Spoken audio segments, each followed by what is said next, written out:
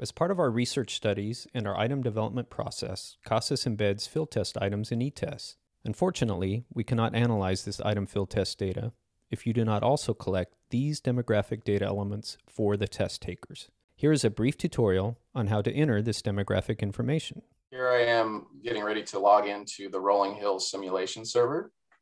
This is where we're going to take a look now. You can run any kind of scenarios you like here and, and test things out. That's what I like to do. So I'm going to log in as a coordinator. It brings me initially to this list of testing sessions. And the place where we want to make the change is actually on the testing session templates. So we'll click here, testing session templates. And um, you can see the number of sessions using it. In this case, we're on this server, so there's a whole lot of sessions. You'll have fewer than this. Um, we're going to edit this ABE slash ASE template. So click the edit button. And then the data fields Linda was talking about are here on the data tab. So you click data. And in this session, we have only student info and zip code selected. Um, perhaps I'll decide that I don't want to collect zip code anymore. So I can re remove this from selected and put it over to available.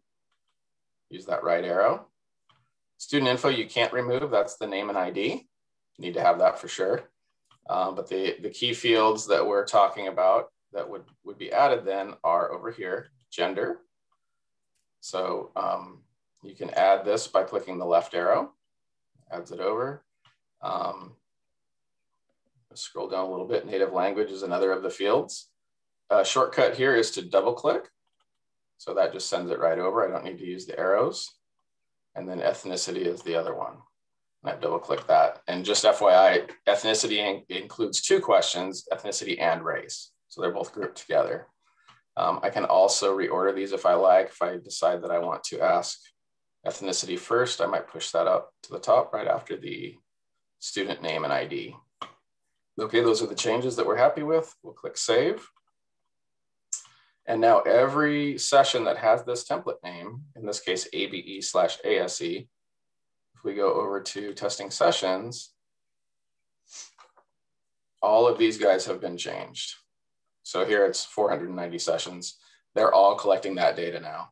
And what you would do is change your first one and then go right on down the list. And here I would change CIT and CTE and any other templates that I have.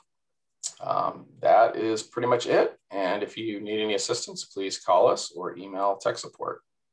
Thanks very much.